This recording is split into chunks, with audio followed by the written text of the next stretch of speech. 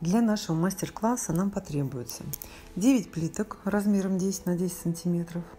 Можно взять керамический или из МТФ. Акриловая краска, цвет оранжевый или терракотовый.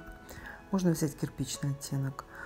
Оливковый э, металлик, трафарита с цветочным сюжетом, линер, э, контур оливковый. Можно, в принципе, взять тоже любой, какой у вас есть. И краски пинни оттенки мандарин, киви, какао и античное золото. Нам надо покрасить плитку так, чтобы получилось три разных варианта окрашивания. Я взяла два цвета – терракотовый матовый акрил и акрил металлик оливкового цвета. В первом варианте краску используем в равных пропорциях. Получается вот такой коричневатый оттенок. Во втором варианте основной цвет будет терракотовый. Окрашиваем также три плиточки. Плитку я окрашиваю с помощью поролоновой губки в одном направлении.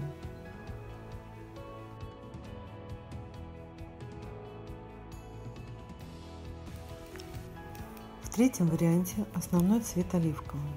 Я взяла металлик Evans Pomerance M32 но можно взять обычную акриловую краску. Главное, чтобы оттенок был ближе к теплому зеленому.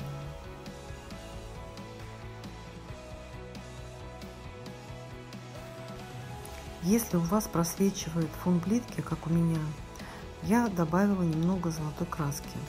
Просто смешала его с терракотовым и покрыла еще раз, а, так как металлики более укрывистые по сравнению с обычным акрилом.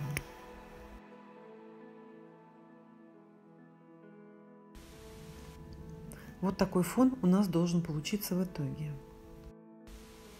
После того, как краска высохла, начинаем подбирать трафареты для рисунка. Я выбрала вот такую растительную тему, цветочки и листочки.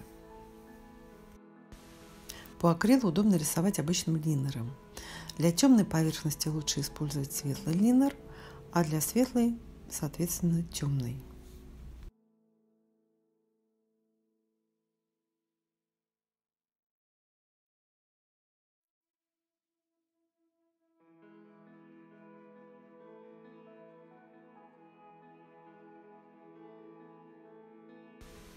Если вдруг где-то накосячили, можно подправить линию обычной ватной палочкой. Она очень легко стирается.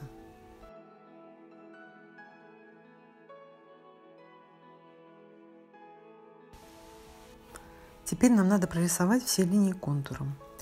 Я взяла оливковый цвет, производитель Таир.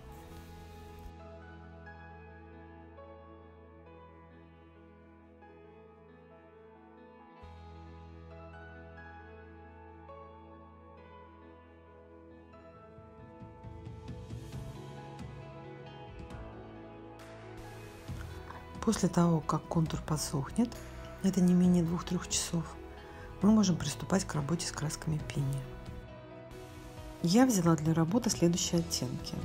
Мандарин, киви, античное золото и какао. Краску наносим хаотично, не льем в одно и то же место –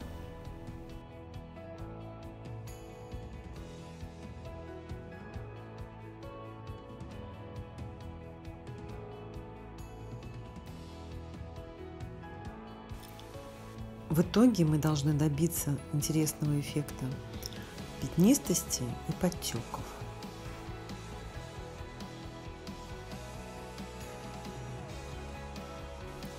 Там, где много краски, можно аккуратно, верной кистью распределить по плиточке. В итоге мы добились интересного декоративного эффекта. Этот прием можно использовать абсолютно на любой поверхности, как на керамике, так и на дереве и на металле.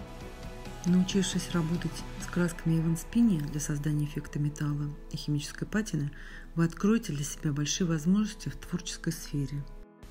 Абсолютно неважно, умеете ли вы рисовать. Во-первых, вы всегда сможете воспользоваться трафаретами. Огромный выбор подобранных по разным тематикам трафаретов вы сможете приобрести в интернет-магазине Hetman Decor. Найти обучающее видео или получить консультацию – по любым материалам бренда Evans вы можете на сайте eansari.ru. Подписывайтесь на нас в соцсетях. творческих успехов!